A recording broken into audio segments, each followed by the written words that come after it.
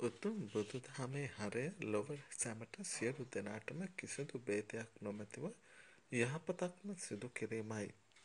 මිනිස්සුන්ට පමණක් නොව තිරිසනුන්ට පවා මෛත්‍රී කිරීමට උතුම් බුදු දහම ලොවට කියා දුන්නා. එවන් උතුම් දහමක් අනුගමනය කරන බුද්ධ පුත්‍රයන් වහන්සේලා කීප දෙනෙක් සිදු කළ අපූරු ක්‍රියාවක් පිළිබඳව හපුතලේ ප්‍රදේශයෙන් වාර්තා වෙනවා.